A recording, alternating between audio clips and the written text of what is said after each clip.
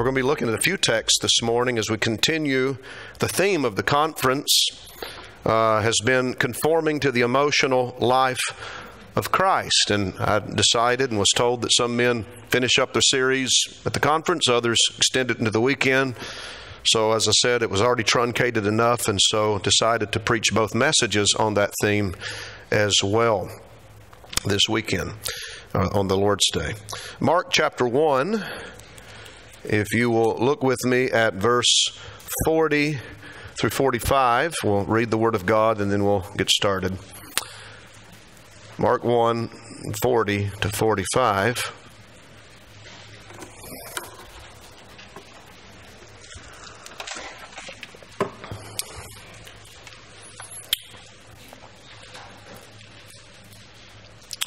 And a leper came to Jesus, beseeching him and falling on his knees before him and saying, If you are willing, you can make me clean. Moved with compassion, Jesus stretched out his hand and touched him and said to him, I am willing, be cleansed. Immediately the leprosy left him and he was cleansed.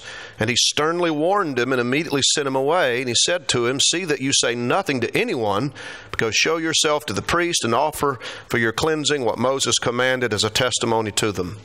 But he went out and began to proclaim it freely and to spread the news around to such an extent that Jesus could no longer publicly enter a city, but stayed out in unpopulated areas, and they were coming to him from everywhere.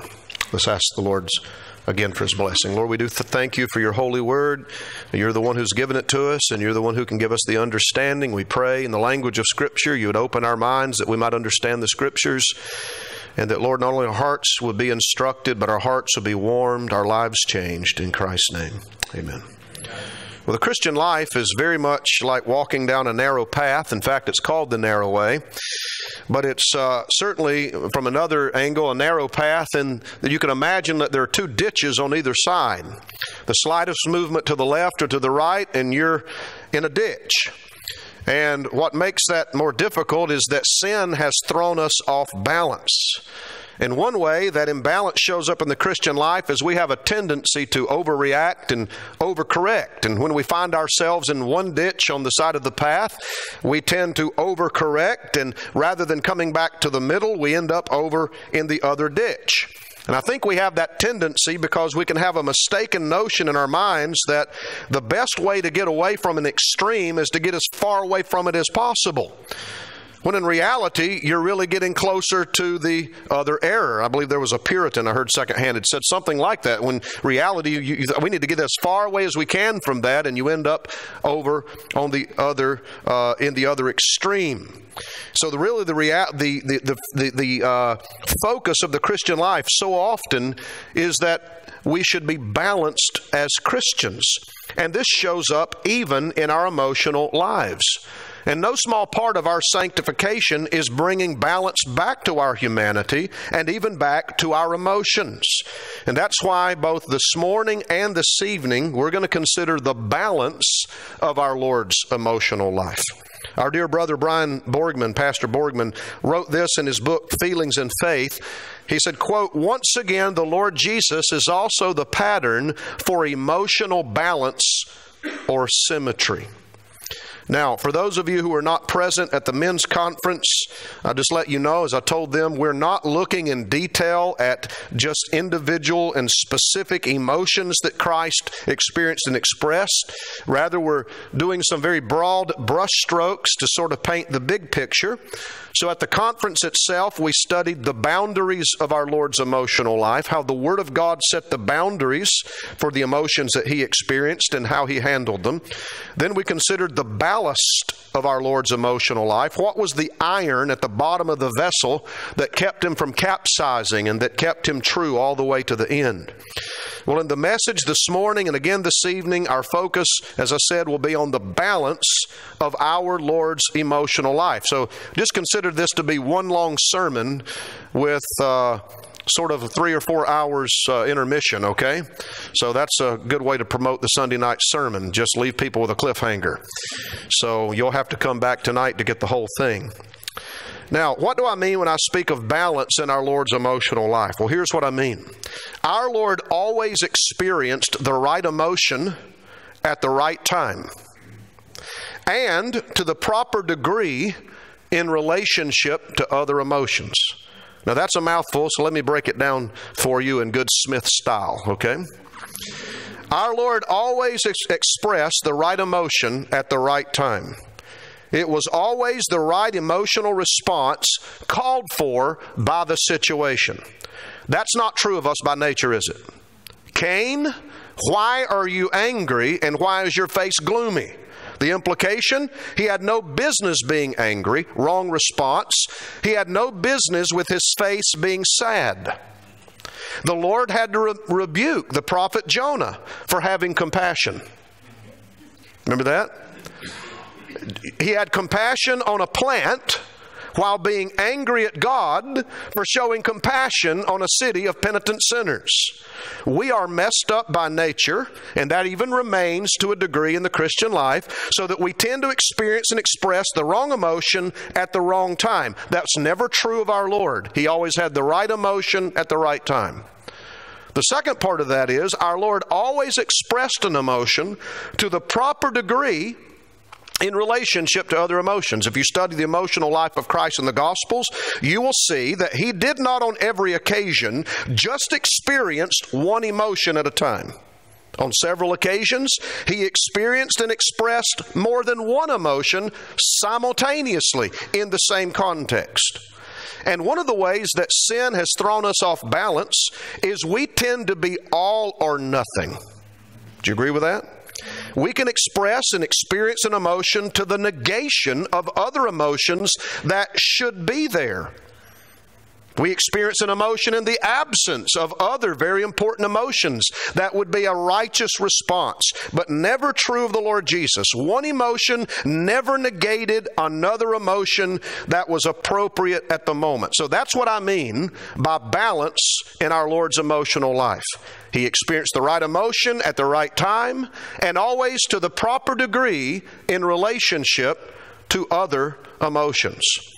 As we think about that in this hour, we're going to consider what I'm calling a perfect mixture or perfect mixtures. We're going to look at perfect mixtures, and then tonight we'll consider in alliterated fashion, pure motives. All right? So this morning we're going to consider perfect mixtures. And what we're going to do is we're going to examine a handful of incidents where we witness a mixture of emotions in our Lord. And it was perfect because it was without sin. And there are some things we should learn from these texts in our quest to be more like the Savior. And as we break this down, we'll just consider it under two very simple headings uh, this morning analysis and application. All right? Analysis and application. First of all, analysis. Let's begin by analyzing just a handful of texts where we see a perfect mixture of emotions in our Lord. And I think some of these you might even find to be, might even stun you and shock you. And I think you'll find it interesting. It's kind of a survey Bible study way to preach this morning, but I think it's necessary for us to catch a glimpse of the balance in our Lord's emotional life. And the first text is the one that I just read in your hearing here in Mark chapter 1. Now, when you come to this text, which emotion of Christ would you say is dominant? Which is the one that is prominently featured? Compassion. He saw this leper who wanted mercy from him and healing, and the Bible says that he was moved with compassion. That means to be moved in the innards. It is to feel sympathy for a person who is suffering so deeply that it can even register itself in your physical gut. You can feel it in your gut. He was moved with compassion, and what a display of compassion it was. Lepers were not to come near you, and you certainly didn't want to touch one. And yet, our Lord Jesus, in the tenderness of His grace and His mercy, healed this, le- this leper. Real compassion. This is real compassion. By the way, one of the things we learn about real compassion is that when it's present and it's possible, you always seek to bring relief to the sufferer. You don't just post sad faces and then challenge everyone else why they're not doing the same thing. Jesus would see something, feel something, and then he would do something when it was in his power to do so. But what I want you to especially take note of this morning in this incident is what we're told in verse 43. In verse 43, we read, I'm sorry, verse, yeah, verse 43 we read, and he sternly warned him and immediately sent him away. Now the text says sternly warned. B.B. Warfield points out that warned is not actually a part of the terminology in the original text. It's translated this way probably in the text with the, I think, the two blind men where Jesus sternly warns them as well. Now, it perhaps could convey something of a warning or a stern warning, but if you reduce it to that, you may miss its effect and its full meaning. In the original, it literally means I snort or to snort. One source says to snort like an angry horse, to snort with rage. And in his article, B.B. Warfield, the emotion, when he, in his article, The Emotional Life of Our Lord, says that it could carry the idea that Jesus raged against the leper. It's a very strong word. Now, of course, that would not mean that our Lord lost his cool and control and began screaming at the leper at the top of his lungs and shook his fist in his face or threatened him in some carnal way, but neither should we downplay or sugarcoat the language. Evidently, it can mean displeasure, anger, or some kind of indignation that is coercive in nature. And perhaps that's where the idea of stern warning comes from. When you sternly warn someone, eh, that has a threatening feel to it. You sort of get worked up and agitated. You show some form of displeasure, and the person is taken back, and, and they feel pressure from that anger to take a certain course of action. And that's something of the, the, the, tone and the feel of that term here. Very powerful and strong. It's not just, hey, would you, would you please, now that you're healed, would you, would you please consider keeping it under the rug? Some way, somehow, Jesus manifested a real kind of holy displeasure at this man he had just healed. And we're told in verse 44 what Jesus uses this, what could be called a coercive displeasure, to press this man to do. He says in verse 44 See that you say nothing to anyone, but go show yourself to the priest and offer uh, for your cleansing what Moses commanded as a testimony to them. And then in verse 45, we have a clue as to why Jesus issued this angry directive. Jesus knew and anticipated that if news of this spread, it would create such a fervor and excitement that large crowds would grow to such an extent that it would be hard for him to get into the city, right into the city, and minister the gospel into the people. And as you read in verse 45, that's precisely what happened.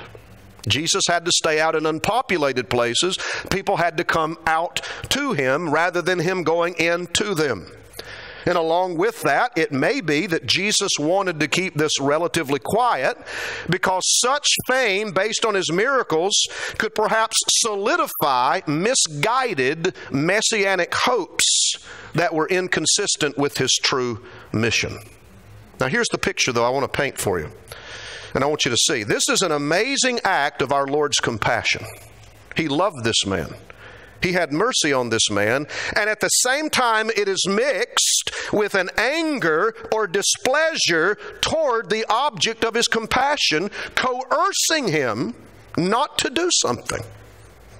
Now, due to our native tendency to emotional imbalance, there might be something in us that would say, Would the real Jesus please stand up?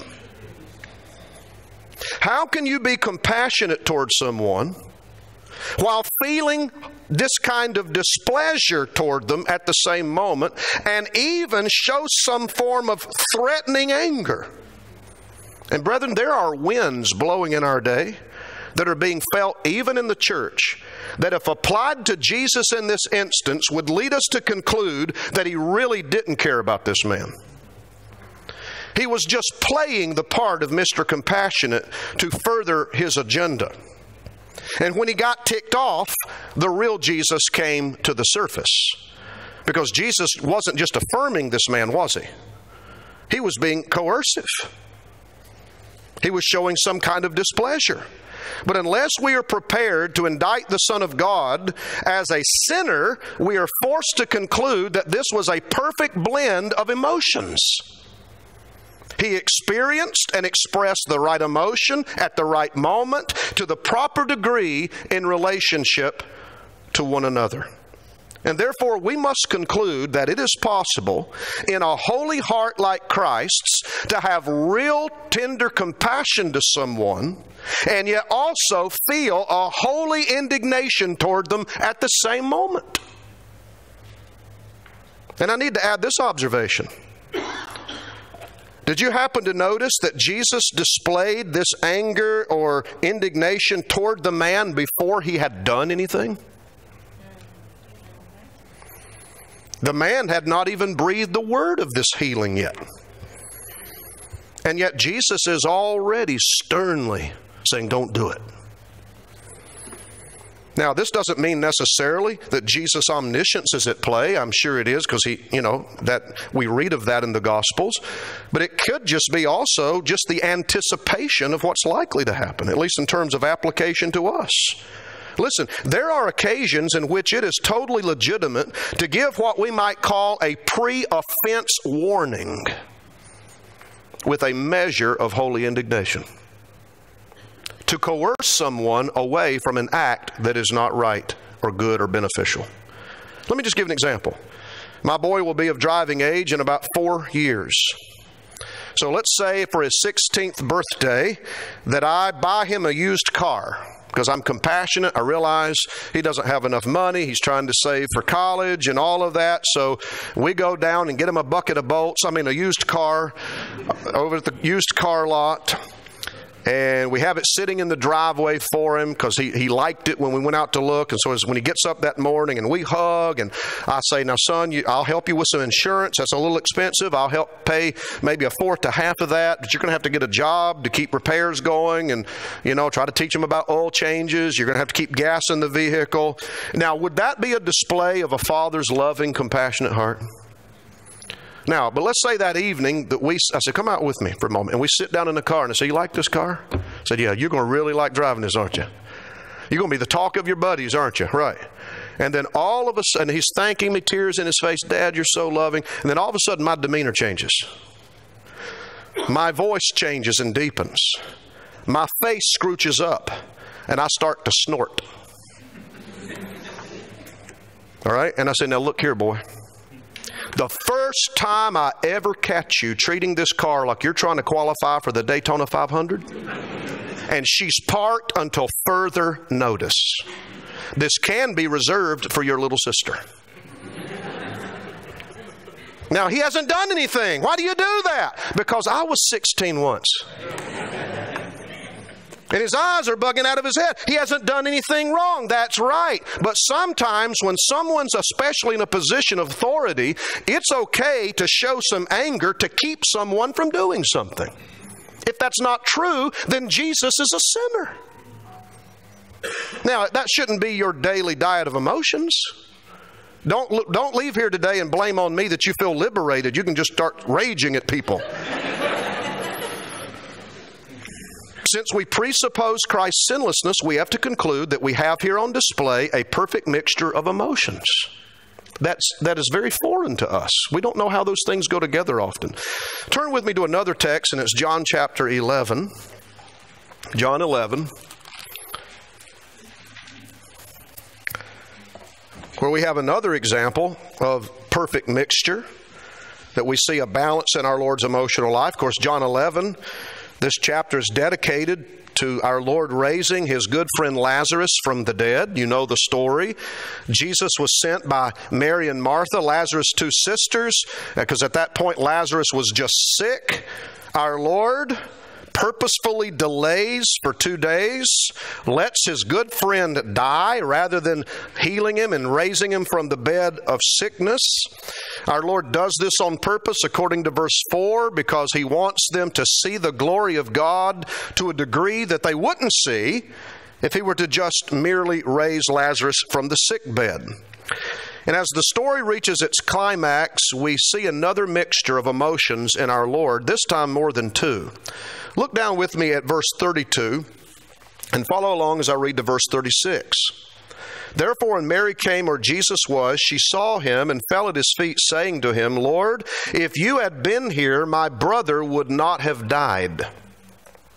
When Jesus therefore saw her weeping, and the Jews who came with her also weeping, he was deeply moved in spirit and was troubled, and said, Where have you laid him?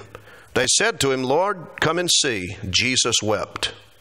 So the Jews were saying, See how he loved him. But some of them said, Could not this man who opened the eyes of the blind have kept this man also from dying? So Jesus, again being deeply moved within, came to the tomb. And you know the rest of the story. Now, when we read in verse 32 that Jesus was deeply moved in spirit, that's the same word that we just saw in Mark 143. Jesus raging against the leper. And what we're being told is that when he saw Mary and the others weeping, he had some kind of holy anger or displeasure or indignation in his heart as he was about to come raise his good friend from the dead. And remember, he loves all these people. And then he says, the Bible says, his soul was troubled. And so he was agitated within his own heart at the same time. Now, why in the world would Jesus feel anger, displeasure in a situation like this? I mean, you just don't normally think about that. You know, I went to the funeral home the other day. It was so sad, but I was so mad. You just don't normally put those two things together, right? Does it like those shouldn't be in the same heart at the same time, maybe three hours apart, but not in the same moment. Well, one way this is interpreted is that Jesus was anger, angry and troubled over the cause of Mary's weeping and that of the others with her. A.W. Pink captures this thought well when he writes In this instance, the Holy Spirit has recorded the cause of Christ's groaning. It was the sight of Mary and her comforters weeping. He was here in the midst of a groaning creation which sighed and travailed over that which sin had brought in. And this he felt acutely. The original suggests that he was distressed to the extremest degree, moved to a holy indignation and sorrow at the terrific brood which sin had borne, agitated by a righteous detestation at what evil had wrought in the world.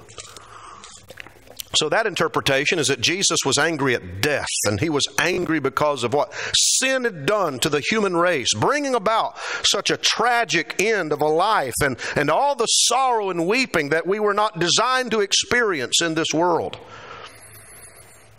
But it's not out of the realm of possibility to interpret Jesus' righteous indignation to be directed at Mary and the others for their unbelief.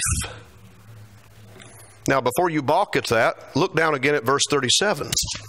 But some of them said, Could not this man who have opened the eyes of the blind man have kept this man also from dying? What is that? I believe that's an expression of unbelief, at least a measure of it. Then in verse 38, right after that, we read, So Jesus again, being deeply moved within, same word, for the anger and the displeasure we've been looking at, came to the tomb. In other words, it is possible to interpret this as Jesus was angry at the unbelief being displayed in this instance. Now, to balk at that idea that Jesus could experience an anger toward those that he was also loving and grieving for reveals a couple of things about us.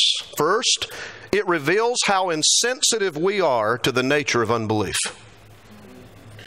Unbelief, even the remains of it in the believer, is an assault on God's character and power. Second, it reveals how little we understand Jesus' holy soul and what it must have been like for his sinless heart to come into direct contact with the moral evil of unbelief.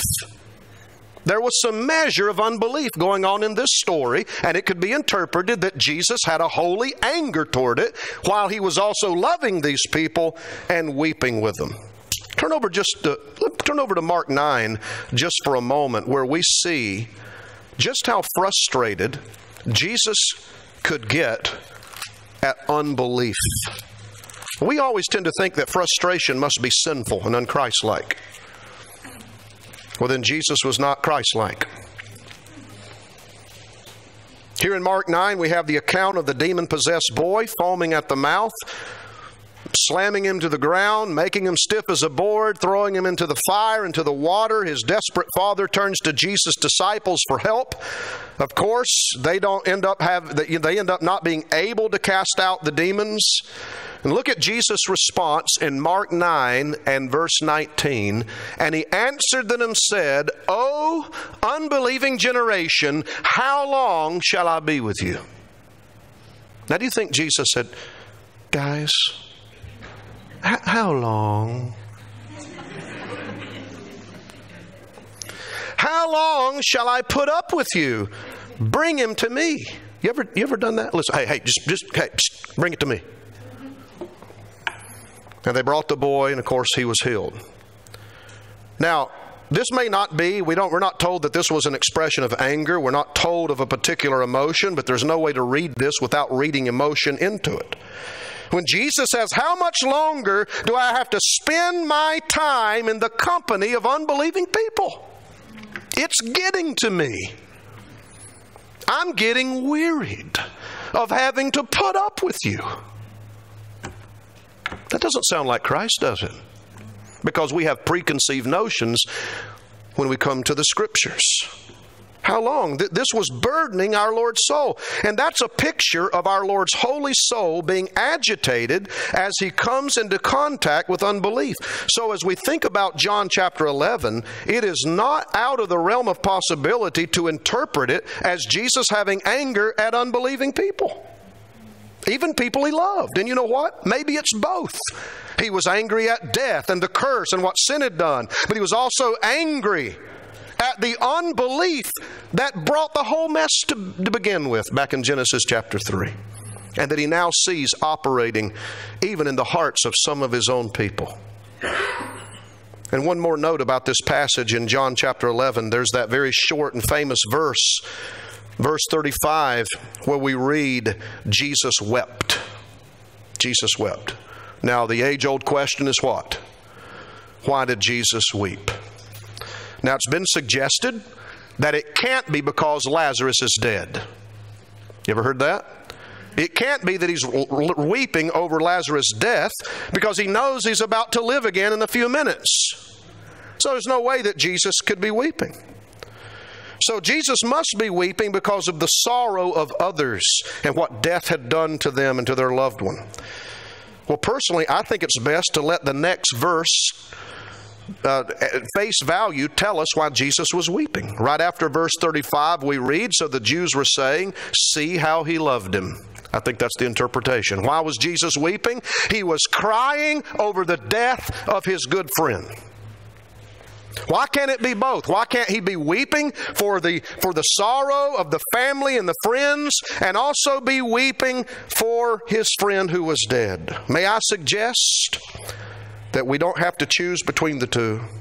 Why? Because our Lord here gives us a great example of what it means to sorrow, but to sorrow not as those who have no hope.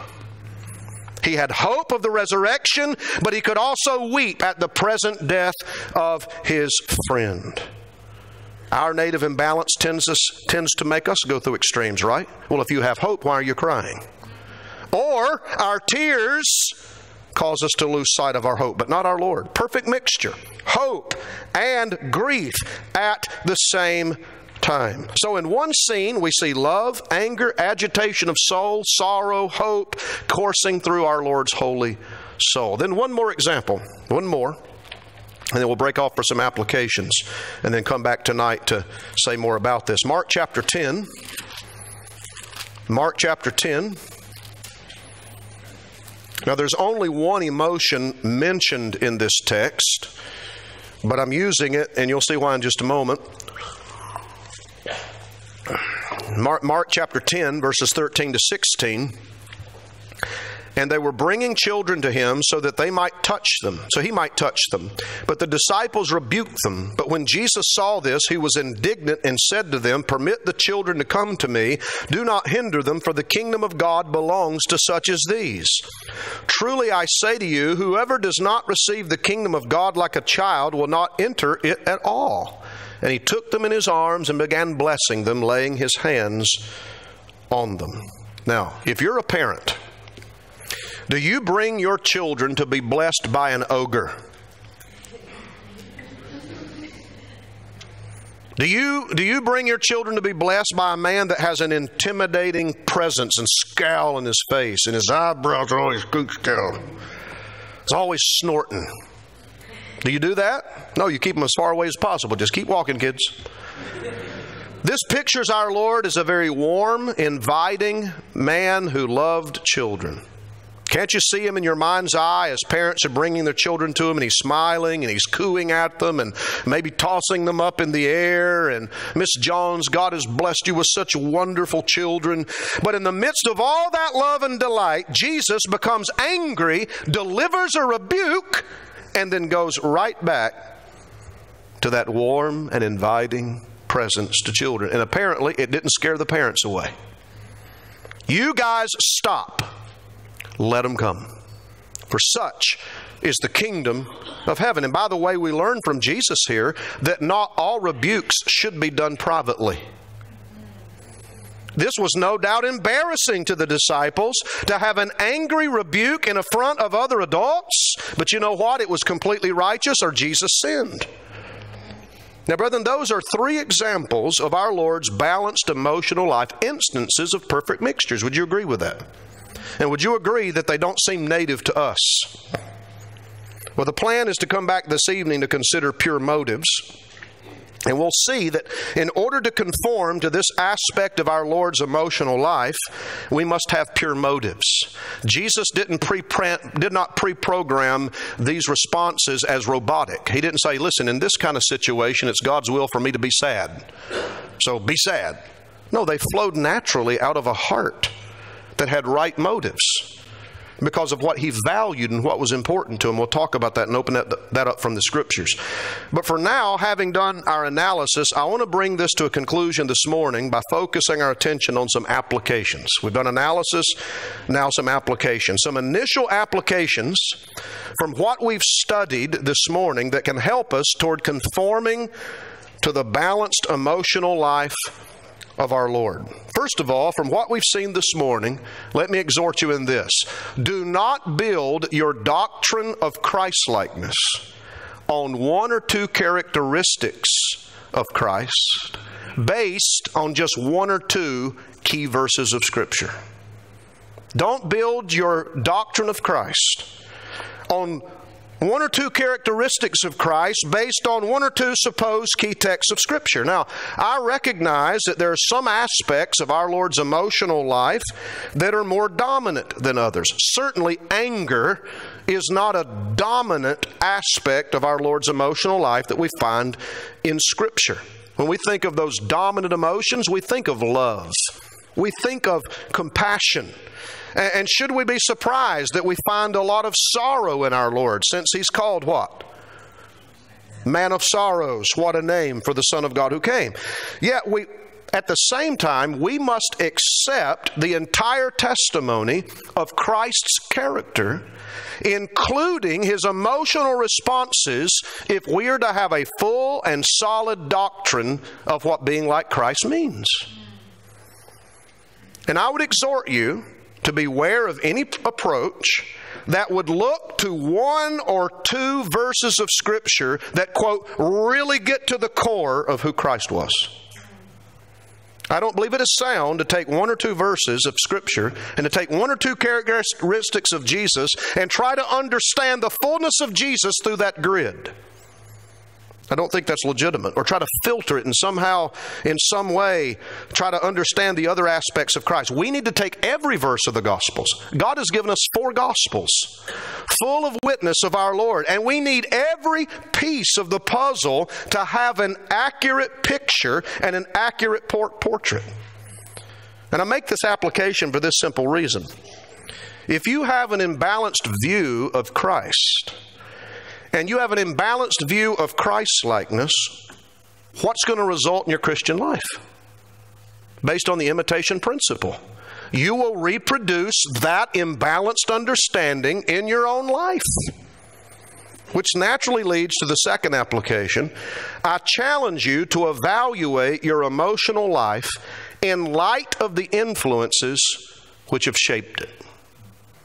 I really want you to, th- if you have time, just if, if before the Lord, or if you want to weave something into your devotions, you don't have to do this. This is not thus saith the Lord, but I challenge you to actually think about your emotional life and to think about all of the influences that have shaped you in that. I said at the beginning of the message that basically we come into this world imbalanced, emotionally, in other ways. And I must add that from the moment you came into the world, you had influences which shaped your emotional life some good, some not so good, some bad, and some really bad. And I judge it wise to reflect on your emotional life and the influence that have shaped it because I believe it can be helpful in conforming to the emotional life of Christ. And here's why I say that. Let's say, for instance, that you were reared in a very nominal Christian home, Christian by name only. And let's just say that you grew up attending a very liberal church. If you never hear again how we ought to be the hands and feet of Jesus, it'll be too soon.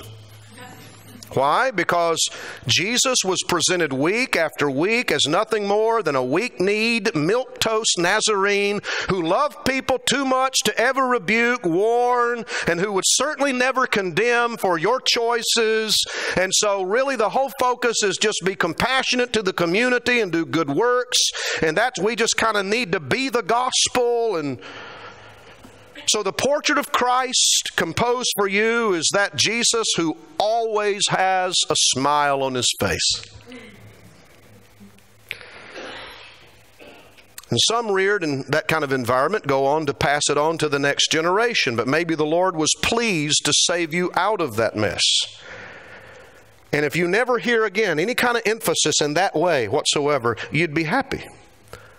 Well, the problem is, is you've overcorrected so that you now tend to be drawn and attracted almost exclusively, if not exclusively, to those sharper edges of gospel truth and those aspects of Jesus Christ which correspond to them. So that when you read Jesus putting a whip together and turning over tables and driving people out of the temple, you say, Now that's my Jesus. That's a man's man there, taking care of business. I mean, Jesus would draw the line in the sand. You were with him or you were against him. You just love that kind of raw meat stuff. You tend to be attracted to those teachings of our Lord where He pronounces woes and judgments, but those incidents and teachings which reveal the more tender side of Christ, they just don't do that much for you. You just kind of read past those in devotions, or if you find those on SermonAudio, you uh, skip over them, or your pastor's preaching, you just go to your happy place for an hour and shake his hand at the door.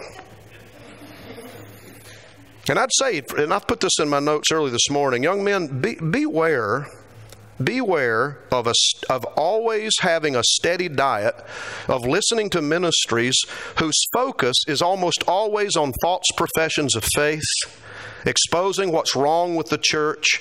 If that's your main diet, it will put a sharp edge on your personality and on your emotions. I appreciate those ministries. I, they have their place. God used that kind of stuff. You heard my testimony this morning. I'm glad there are people that have the sharper edges, but you, I think young men, especially in this generation, can fall prey to that to where they're always, oh, did you listen to this? You listen to this. And it's always that sharper edge, drawing the line in the sand. Jesus clearing the temple, and the church needs to repent. And and you kind of suspect of any preacher that might preach on love is patient and kind. So be careful about that. But you see, we've all had influences that can shape us and move us in those directions. But let's say there's another person who was reared in a true Christian home, in a fairly sound church home context, but the portrait of Jesus painted for you was almost exclusively one who was full of truth, but not very much full of grace. who promoted truth and righteousness with a backbone of and never compromised. And so you grew up with seeing Jesus as super strict with very little compassion. You love your parents, but as you look back at them, you say they were true Christians, but there was not a whole lot of warmth. There was just kind of buck up and get the troops ready. And it was just kind of, it was always, this is what's right and this is what is right with very little tenderness. And rather than growing up to pass that along, you've determined, not me. Nope, nope, nope. It's going to be different with me. Problem? You've overcorrected. And now you tend to be exclusively attracted to, he doesn't cry out in the streets. The bruised reed he will not break. The smoldering wick he will not, uh, he will not blow out. Come to me, I am gentle and lowly in heart. And you say, now that's Christ. That sums up the Jesus I know. And so when your husband sternly warns your kids, you say, honey, honey, no, no, that's not Christ like. That's not like Jesus. They haven't even done anything wrong yet. Yeah, but honey, I've been a boy. So you shy away and you feel uncomfortable with those incidents and teachings where Christ has a measure of sternness and clarity. You, you like the fact that He's the Lamb of God, but you're just not so sure about the Lion of the tribe of Judah. You like the tenderness, but you don't like the roar. And that has greatly shaped your emotional life. Now, you may not fit into one of those two categories exactly, but you get the point. The point is that it's good to analyze our emotional lives and detect the imbalances and ask, what have been the influences that have shaped me? And have honest dealings with the Lord and ask for grace to face those aspects of Jesus revealed in the gospel that rub you the wrong way and say, Lord Jesus, reproduce that in me. Help me to be more balanced. Asking yourself, why do I feel uncomfortable with the tender, compassionate Christ? Why does that just not register with me? Why do I not, why do I, why is there something in me that says Pastor Jeff must have exegeted these scriptures the wrong way? That can't really mean that he raged against the leper. What's going on in there? And to have honest dealings with the Lord and ask for grace to bring you to the middle of the path. And then the third and final word of application is this as you continue to grow in likeness to Christ, don't conclude that something's wrong with you when you increasingly experience what seems to be contradictory emotions. As you grow in likeness to Christ, you will experience at times what appears to be a strange contradiction of feelings in your soul. For example, if you grow in your love for God and commitment to His glory, there is no way that you're not going to be angry at times. How can His name be blasphemed in this fallen world and if you love Him and it doesn't agitate your soul? There are going to be times when your love for your children and others are so strong as it grows that the choices they're making are making you sorrowful, but also producing a holy anger at the same time. Don't be shocked that as your hope grows, that you can weep in very deep and profound ways. Don't we see this in the New Testament when it says we are to sorrow, and as I mentioned earlier, but sorrow is what? Those who have no hope. Or what about what Peter says in 1 Peter 1 6? He says, You're rejoicing, greatly rejoicing in these things, but if need be, right now, you're in heaviness. And I don't think he's saying your rejoicing's been interrupted. We can get back to rejoicing later. I think he's saying you're simultaneously experiencing deep joy and deep grief at the same time. And the more you grow in grace, the more you're going to have these experiences of emotions that seem contradictory but they're really not. That's growing in grace. Growing in grace like our Lord. I want to end by asking Have you ever had serious dealings with the Jesus presented in the Gospels? I mean, part of this whole thing of dealing with the emotional life of Christ is it's making us go to the Gospels and ask who Jesus, who was Jesus really? What was he like? Because you have a modern kind of a worldly perception of Jesus in some way or the other. And I ask, have you ever met and had personal dealings with this Christ? Have you? Have you ever come to Him in saving faith? Because this is where this begins. This is not moralism. This is not five steps. It, wouldn't it be better if ever, wouldn't the world be better if more people lived like Jesus? That's not the gospel. He's a Savior from sin. And you'll never be able to imitate Him effectively and truly until He has done a work of grace in your heart and liberated you. And we'll talk about that a little tonight about the work of grace He does in our hearts, which enables us to be like Him more and more as Christians. Well, let's pray. Lord, we thank you for your goodness and your grace. We pray, Lord, that you would take this word and we pray that you'd write it upon our hearts. We pray you'd give us understanding. Lord, help each of us have personal dealings with you. Lord, knowing that our emotions are always moral because they come from our hearts. And we pray that we would look at the Jesus of the New Testament and compare ourselves to him to be humbled by it, but Lord, but to also be encouraged that by your grace we can become more like you. For it's in your name we pray. Amen.